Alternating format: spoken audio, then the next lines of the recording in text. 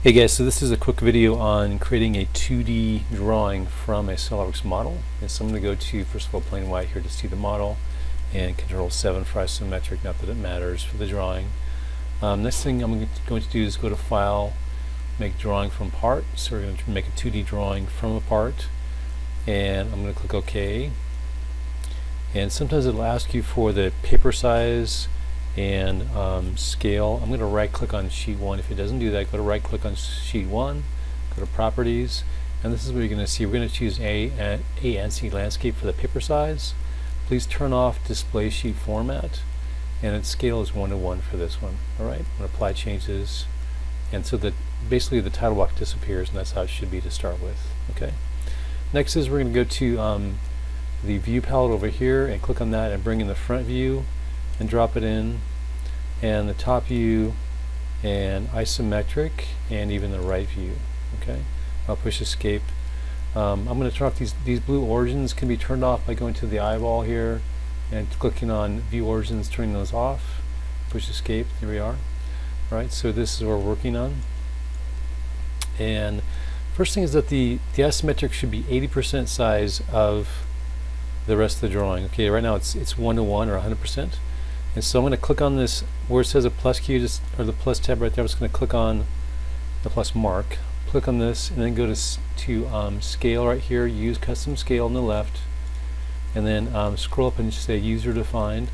And so we want it to be 80% of the size. So think of this as like 1 over 1 is 100%, okay, 1 over 1. If I say 4 over 5, or 4 colon 5 here, which means 4 over 5, 4 over 5 is the same as 80%, like the same as 8 over 10, okay? We reduce that down to 4 over 5, that's 80%, and that drops it down to an 80% size, and that's what this should be, okay? So that can be right there. Next is I want to bring in, um, I want to turn on the hidden lines, so click on one of the views and go choose hidden lines visible right here on all these and this one should be fine. I'll click on this one. Same thing, hidden lines visible, so hidden lines show up for the hole going through. Next is to go to annotation tab up the top, choose center line, uh, choose select view, and click on the views that have the hole going through it. Like this one needs one right there, and this one has one. If it doesn't, click on it, and this will show up right there. Okay, cool. Next thing is to um, change the size of the center mark here. Notice the dash size on the on the center line and the and the hidden lines this should be the same size. I'm going to click on this. I'm going to turn off use document de defaults. I'm going to change this to like the 0.05 and that's about the correct size there. Okay, I'm going to check mark that. And I'm going to click on these little extension lines here on the center mark, kind of drag these out. If it shows a double line, then um, turn off centerline font, font right there. Check mark that. And now these are the correct size. Okay. That's what it should be. Notice when you click on these boxes and drag them back and forth and let go, that's what makes them the correct size. Alright. Next thing is to bring in dimensions. So I'm going to go to um, View, Layout, and Model View right here. And it says, um, I take it back, I'm going to go to Annotation and Model Items. Model Items. It says Source Destination. I want to bring the dimensions into the entire model. If it says select a feature, change it to entire model and then just check mark this all the dimensions come in. Make sure that you have your ANSI document properties that this should say ANSI for your drafting standard. Okay and that changes the correct standard here. Um, and so a couple things about this. We want to dimension this correctly. So first of all um, we want to group the like dimensions okay? So all the heights um, so this 25 does go here because this is the feature that shows it the best right there.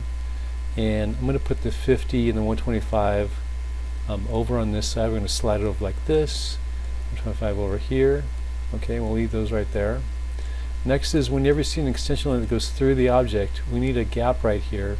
So I'm going to click on this one and drag these back and then go to the corner and just let it that orange dot show up, let go.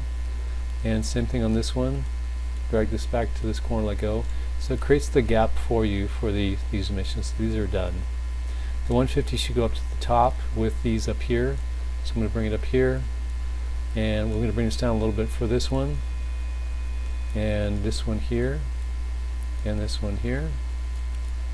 And that should be good. I'm going to leave the 40 over here like this, that 40 diameter, it's fine. The, uh, the 50 here is going through the center mark, so I'm going to click on this and bring it back over to the where the center mark is right there and let go. And that creates um, that connection for that center mark, okay? This looks pretty good here. I'm going to bring the 25 up to there, actually bring it outside so it's not stuck in the middle. I'm going to bring this one over to here. So watch, I'm going to use the control key. I think it's control or shift. Let's try the control key first. Click on this with the control key and drag it over and let go. And notice how it brings it over like this and copies it over. And you can um, delete this one here. Click on that, delete it. Because it'll just use the control key and drag and drop over to this side. And we need to adjust our extension lines to there.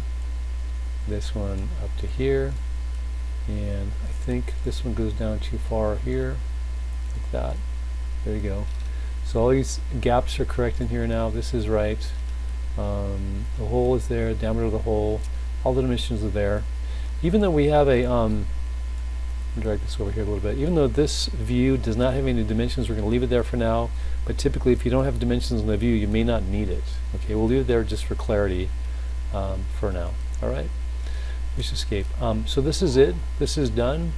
And I'm going to grab, I'm going to snip this out to place into my slide for presentation like this. Um, and this is 2-1. All right, and that's ready to go. Okay, hope that helps. And I think I'm have one error right there. I'm going to change this. Hang on a minute. I'm going to go back and change this one because I had an error. This needs to go up to here. And this one goes up to here. And now I think it's right. Okay there you go. Hopefully, hopefully that helps. Have a great day. Bye.